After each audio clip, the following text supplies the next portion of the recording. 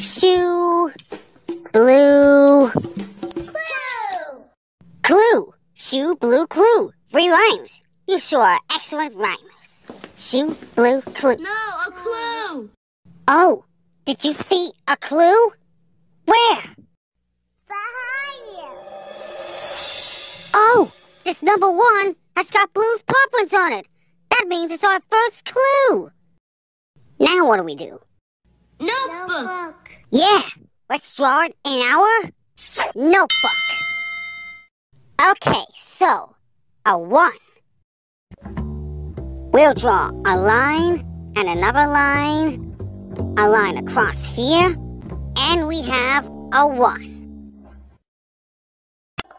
Seven special silver stamps. Seven special silver. Clue, a clue! A clue? You see a clue? Where?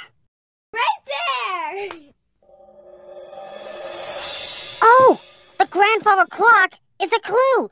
We just found another blues clue. You know what to do? Let's put this grandfather clock in our handy dandy Notebook! notebook. Right. Okay, so a grandfather clock. First, we have a square, then two lines down, a rectangle at the bottom, a squiggly line here, circle for the face, the hands, a long line, and a circle. And we have a grandfather clock.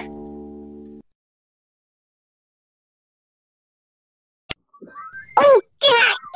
Oh, mice! Oh, A clue! blue? You see blue? Where? No, a clue! This? Oh, that's not blue. That's just a clue.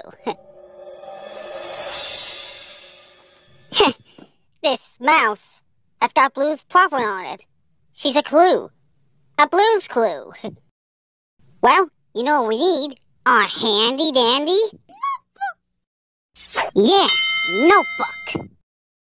Okay, so, a mouse. Hi. Alright, draw an oval shape for the body, semicircles for the ears, two eyes, nose, lines for the whiskers, and a long squiggly line for the tail. And we have a mouse.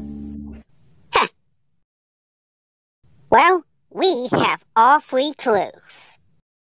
We have all three clues. You know what that means? We're ready for our Thinking chair! thinking chair. Come on.